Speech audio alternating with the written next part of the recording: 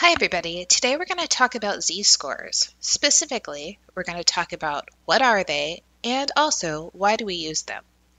So we really want to start with the definition of, well, what is a z-score?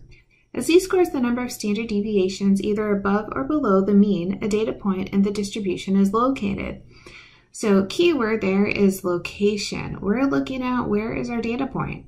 Is it to the right of our mean? Is it to the left of the mean? Is it in the tail region? So how far away is it? So is it a very unusual score or is it a score that we would expect to get? So we have this nice little equation to talk about z-scores. If we had a sample, then we would have z is equal to x minus x bar over s. So x is our data point. It's the point we're trying to figure out. We're trying to say where is it located compared to the mean x bar and the standard deviation s of the sample. If we happen to have a population, then same kind of thing happens. We would still have x, which is our data point, but we would want to compare to mu, our mean, and sigma, our standard deviation. So just a slight little difference between if we have a sample or a population, but otherwise this conversion looks the same. So let's try that. Suppose the length of movies is normally distributed with a mean of 96.5 and a standard deviation of 10.8. Let's find the z-score for a movie that is 75 minutes long. So we're going to start by taking our data point 75. We are going to subtract the mean at 96.5 and then we divide by the standard deviation of 10.8. Throw that in your calculator and you get negative 1.99. Let me give you this little word of advice. If you do try to put this in your calculator all at once, which is absolutely fine, you want to make sure you put parentheses around the 75 and the 96.5. So you want it to look like this before you hit enter. It's easy to make a simple mistake and get the wrong number. So what does this mean? What does negative 1.99 mean? Well, it says this movie is almost two standard deviations shorter than the average mean length of movie times in the sample. So the negative says smaller, positive says larger, and that number that you get says how far away is it. So to show you a little bit more about that, I'm going to go over to Desmos and kind of look at where is this located. So what I'm going to do is I'm going to type in normal dist, there's a normal distribution, and it says, well, what's the mean? What's the standard deviation? So we said the mean was 96.5, and we had a standard deviation of 10.8. So what it drew is a normal distribution with a mean of 96.5, which you can see at the top here. If I click on there, there's 96.5 is the mean median mode, standard deviation of 10.8. And I'm going to click this find cumulative. So I can put in here this 75. So what 75 does, it tells me the percent of movies that are 75 minutes long or shorter. So when I look here, I got this 0.02325. That says about 2.3% of movies are less than 75 minutes according to this data that I gave you. You can also see on here that this is in the tail region over on the left. So it is about two standard deviations to the left of that mean. That was 10.8. So let's look again. Suppose this time I have the same mean of 96.5 and the same standard deviation of 10.8, but I want to know the z-score for a movie that is 105 minutes long. So I do my conversion. I do 105, my data point, minus the mean 96.5, divide by 10.8, the standard deviation, it says 0.79.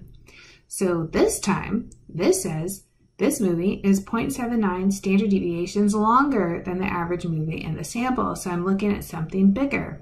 Again, I could go back to Desmos and look at that. I'm going to take out the 75, put in 105, and now I can see I'm over to the right. Remember our mean at 96.5, so 105 is bigger. So over on the right, it says, this says about 78.4% of movies are less than 105 minutes long. So this gives us an idea of how this 105 relates to the mean. It's bigger. It's kind of close, right? It's only a little bit to the right this time, but it gives me an idea of the dispersion too. So let's look at another application. Let's say that the amount of rain a city receives in June is normally distributed with a mean of 8.4 and a standard deviation of 1.4 inches we want to find the percent corresponding to the city getting over 9.8 inches of rain. So we can pull out the things we have. We have 8.4 as our mean, we have 1.4 as our standard deviation, and then our data point is 9.8. So this time, because it's only asking for a percent, I'm not going to do the conversion to z. I'm just going to go straight to Desmos and look at the percent from the graph. So I'm still in normal distribution, but I want to tell it my mean this time 8.4, standard deviation 1.4. I already have it checked to find cumulative, but I do want to hit the zoom fit so I can see this. So now here's my mean, 8.4. So what are we trying to figure out? We want to find out the percent of time they're going to get more than 9.8 inches. So I'm going to go over here to the minimum and say that's 9.8. And to the maximum, I want to get rid of a max. I don't have a max here, but it's more than 9.8. So see, it switched to infinity. So it says the probability that the city gets more than 9.8 inches in June is going to be 15 point, let's call it 87%. So I can immediately see that this is a number greater than the mean. It's a little farther out from the mean. And then because it said greater than, I go to the min. So knowing that we have this table and knowing we can use Desmos and other technologies to figure all of this out, you might be thinking, well, why do we need z-scores? And one reason is that they help us compare data that are on different scales. So for example, according to the Digest of Education Statistics, the mean SAT score for the state of Indiana in 2019 was 1,074 with a standard deviation of 168. The Condition of College and Career Readiness 2019 Indiana Key Findings Reports gives an ACT mean of 22.5 where the standard deviation is 5.8. So you can see we have these two different tests, SAT, ACT, that score completely differently. So how can we tell how good a student did if we had two different tests being taken? So here's an example. So say we had two students from Indiana and they have these test scores.